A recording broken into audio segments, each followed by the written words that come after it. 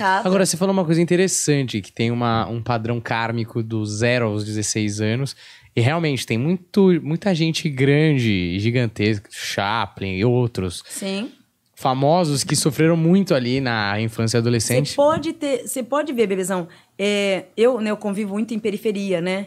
Eu vejo assim, ainda, né, meu marido fala, mas vida, você tá vendo pela vidência? Eu falei, não. É, tem crianças ali é, que comem o pão que o diabo amassa. Mas você olha o perfil da criança ali, aquela alma, olhando a alma, é uma alma refinada, uma alma clássica que gosta de boas coisas, por mais que esteja ali vivendo naquele padrão ali, infelizmente, de uma pobreza, é um, é um espírito muito, assim, cheio de requinte, de postura.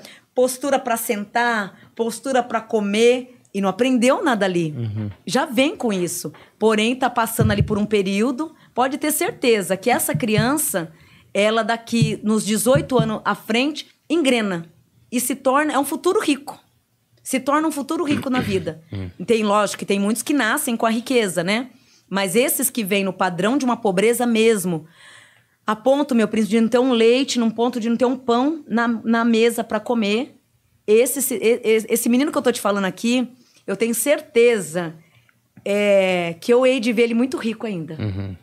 Eu tô falando de uma história real para vocês aqui. Sei. Não vou dizer o nome, mas esse menino eu acompanho ele desde a barriguinha da mãe e observo assim o requinte dele sofrer. Eu falei assim, ainda comentei com meu marido, ele vai até os 12 anos, depois você vai ver que esse menino vai de vento em popa. E um requinte, uma alma assim maravilhosa. Né? Não é o caso da Xuxa, né? Não passou fome nem nada, mas teve os sofrimentos infantis, né? Uhum, certo. E são os que mais prosperam na vida. E crescem de uma maneira assim absurda, absurda.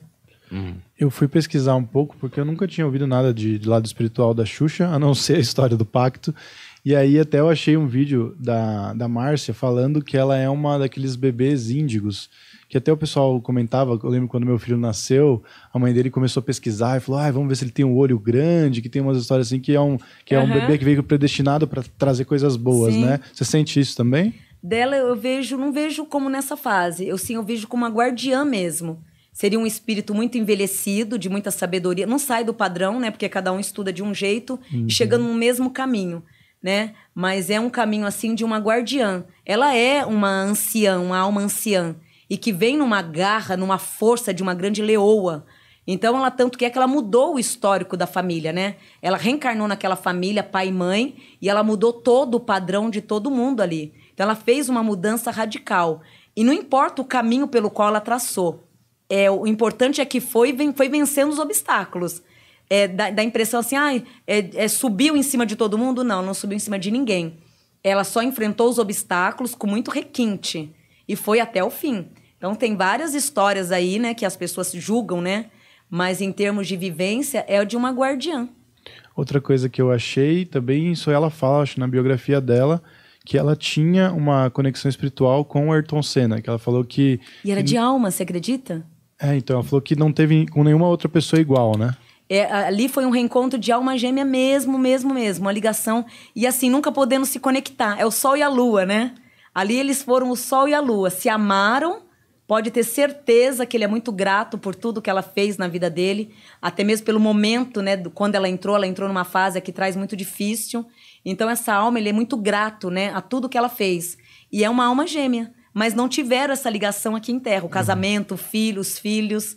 É a lua e o sol. E será a lua e o sol eternamente. Mas uma ligação muito verdadeira.